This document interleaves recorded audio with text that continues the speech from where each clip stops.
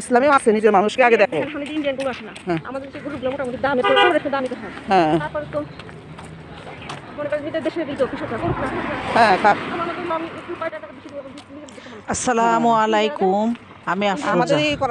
Hello viewers is autism ফেসবুকে আজকে প্রোগ্রামে আপনাদের স্বাগত নিশ্চয়ই আপনারা খুব ভালো আছেন। আমি আল্লাহর রহমতে খুবই ভালো আছি। আজকে আমি অনুভূতি নিয়ে কথা বলব। অনুভূতিকে কেউ কেয়ার করে না, স্বামী স্ত্রীকে কেয়ার করে না, সন্তান বাবা মাকে কেয়ার করে না। অনুভূতি আর কি, যেটা দিয়ে আর কি আমাদের রোগ হয়ে যায়, মানসিক সমস্যা হয়ে যায়।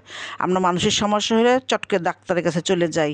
কিন্তু আমরা যদি কোরআন পড়ি, কোরআনের মধ্যেই আছে। তাহলে আমি এখান থেকে একটু কথা বলছি, আপনারা মনোযোগ সহকারে আমার কথাটা শুনুন। আমরা আমাদের সন্তানের কথা শুনব, রেগে যাব না। আমরা আমাদের সন্তানের অনুভূতিকে মূল্য দিতে হবে হজরত মোহাম্মদ সাল্লাহ সাল্লাম সে ছিলেন অমায়িক, ধৈর্য সহকারে মানুষের কথা শুনতেন আমরা তার মতো না পারলেও কিছুটা চেষ্টা করব। হজরত মোহাম্মদ সাল্লাহ সাল্লামের কাছে এক ছেলে এসে বলল, আমি জিনা করব।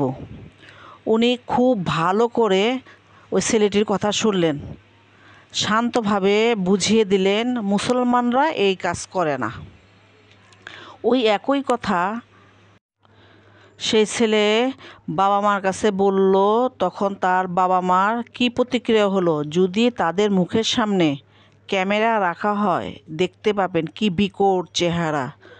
যখন কোনো অনুভূতির কথা আপনার সন্তান আপনার কাছে বলতে না পারে, তখন আপনার সন্তান বাইরে বন্ধু বান্ধবের কাছে বলবে। ওই বন্ধু বান্ধবকে জ্ঞান আছে, আপনার যতটুকু জ্ঞান আছে, তখন তাদেরকে খারাপ পরামর্শ দিবে। আল্লাহ কি আমাদের অনুভূতি কেয়ার করেন? অনেকে বলবেন, না, আপনারা ভুল। সুরা হুজরাতে আল্লাহ বলেছেন, একে অন্যের নামে কিছু বলো না। যার নামে বলা হচ্ছে, সে কষ্ট পায়।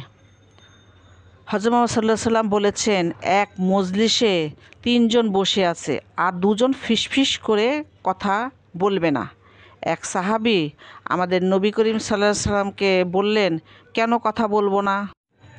আমাদের নবী বললেন, তার অনুভূতিতে আঘাত করবে করবে না। আমাদের অনুমতি দেওয়া হয় নাই, অন্যের অনুভূতিতে আঘাত করা। অনুভূতি, ইমোশনাল পরিচর্যা করা আল্লাহর কাজ।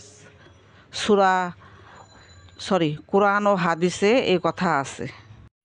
যখন আমরা কাউকে বলব অনেক চিন্তা ভাবনা করে কথা বলব।